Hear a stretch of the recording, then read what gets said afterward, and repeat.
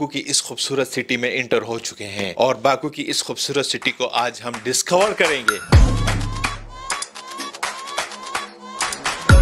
पूरा बाकू देखेंगे, वही एंजॉय करेंगे, मज़े करेंगे।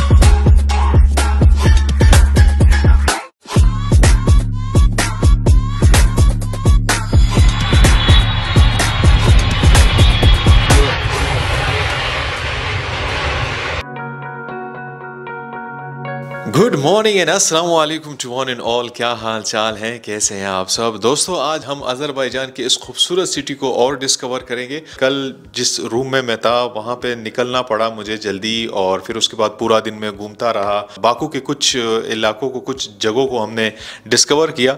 मज़ा आया घूम के, बहुत अच्छा लगा। और अभी जो है, ये होटल का जो रूम है, ये मैं बुक कर रहा हूँ।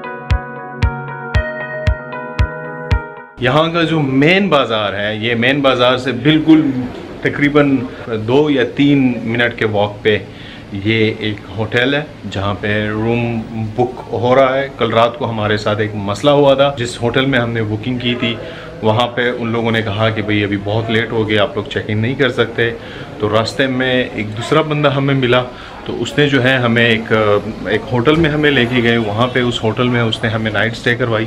This hotel is very good the price is also very normal सही है। अगर मैं दरहम के हिसाब से बताऊँ तो तकरीबन 150 दरहम तक। स्टे है वन नाइट का विच इज़ गुड और अभी हमें यहाँ पे आसपास होटल मिल नहीं रहे हैं, और हमें इसी जगह पे होटल चाहिए, रूम चाहिए आई I मीन mean.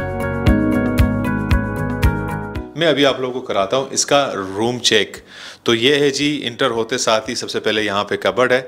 इसको मैं खोलता हूँ, दिखाता हूँ आप लोग को।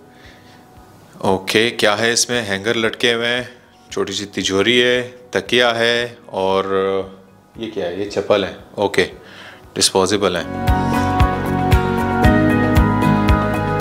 ये यहाँ पे एक छोटा सा सोफ़ा है, सामने जैसे आप इंटर होते हो, यहाँ पे अगर आपने खाना वाना करना है, डाइनिंग करनी है और यहाँ पे टी कॉफ़ी के लिए पूरा सेटअप बनाया हुआ है छोटा सा फ्रिज है और ये है जी बेड।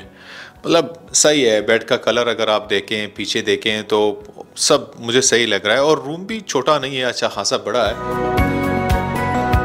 व्यू भी अच्छा है, इतना बुरा नहीं है व्यू वैसे बहुत अच्छा होना चाहिए था, लेकिन अगर ऐसे सिचुएशन में अगर मुझे यहाँ पे रूम मिल रहा है, इतने प्राइस में तो मैं कहता हूँ सही है। चलते हैं जी, अभी बाहर की तरफ़, बाहर के नज़ारे आप लोग को दिखाते हैं। आज इस सिटी को मैक्सिमम डिस्कवर करना है और आज ही मेरी फ़्लाइट है और मैंने दुबई वापस जाना है। इस तरफ़ से तो मेरे ख्याल में कि मैं बहुत ही अच्छे शॉट्स ले सकता हूँ। मैं ट्राई करता हूँ और आप लोग को भी दिखाता हूँ। देखते हैं कि हम क्या करते हैं भाई। लेकिन अभी टाइम हो गया है एक छोटे से ब्रेक का। ब्रेक के बाद आप लोग को दिखाते हैं खूबसूरत बाकू के ड्रोन के शॉट्स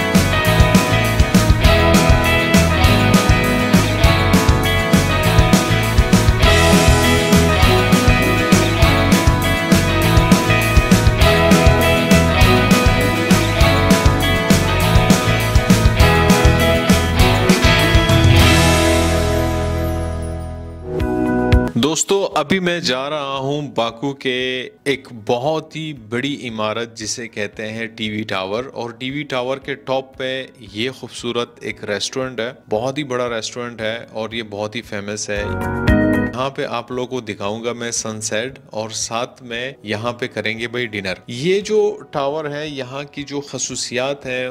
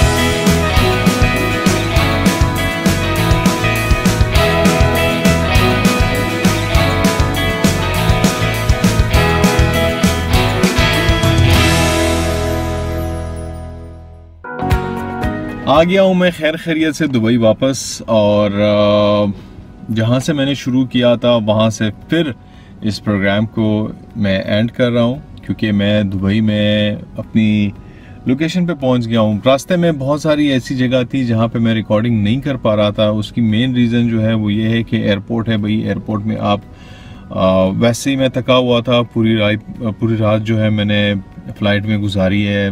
मतलब पूरा दो दिन में जो है बाकू में घुमाऊँ और नींद बहुत आ रही थी। मतलब पूरी रात मुझे नींद बहुत आ रही थी। अभी भी जो है मेरे हालात ऐसे हैं कि मैं यही सोच रहा हूँ कि जितनी जल्दी हो सके मैं घर जाऊँ और घर में सो जाऊँ, अपनी नींद पूरी कर लूँ।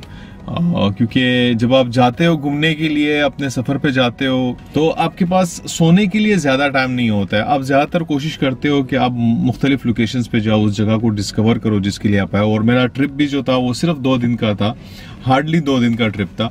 एनीवेज मज़ा आया मुझे, घूम के बहुत मज़ा आया, और बाकू में जितना कुछ मैं कर पा रहा था, या जितना कुछ मैं कर सकता था, वो मैंने किया। कोशिश अपनी मैंने पूरी की कि मैं अच्छे से अच्छे तरीके से ब्लॉग बना के आप लोग को दिखा सकूँ, ताकि आप लोग भी उसको एंजॉय करें। ओवरऑल अगर मैं अजरबैजान और अजरबैजान के कैपिटल शहर बाकू के बारे में अगर आप लोग को बताऊँ तो बाकू बहुत ही अच्छी जगह है घूमने के लिए। अगर आप लोग वहाँ पे जाना चाहते हैं तो आप लोग बहुत इंजॉय करेंगे।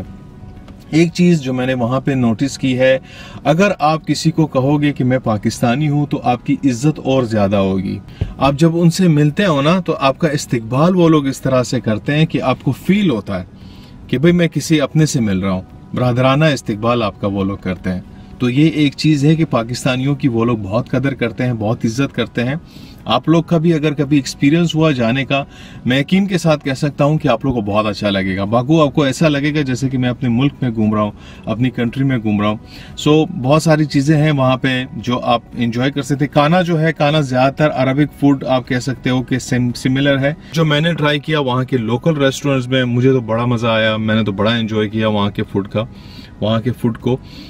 और बाकी अभी वापस दुबई आ गया हूँ तो दुबई में जो मुख्तलिफ़ लोकेशन है, उसे हम डिस्कवर करेंगे, घूमेंगे, फिरेंगे, वैसे ही जैसे नॉर्मली करते हैं हम। और आने वाले ब्लॉग्स में जो मैंने दो नई लोकेशंस को टारगेट किया हुआ है, वो भी आप लोग को दिखाऊँगा। सो उम्मीद है कि ये जो बाकू का ट्रिप था, ये आप लोग को अच्छा लगा होगा। सो अपना ख्याल रखिएगा। मैं अपने अपने घर की तरफ़ जाता हूँ। अभी मेरा हो गया है भाई आराम करने का वक्त। टाइम हो गया है जी रेस्ट करने का। जहाँ से मैंने शुरू किया था, वहीं पे एंड कर रहा हूँ जी, इसी गाड़ी, इसी जगह पे, इसी सीट पे बैठकर मैंने शुरू किया था। रात की फ़्लाइट थी मेरी, अभी पूरी रात से मैं सफ़र करके वापस आया हूँ। अभी तकरीबन रोशनी हो गई है ऑलमोस्ट तो अभी मैं घर पहुँचने वाला हूँ।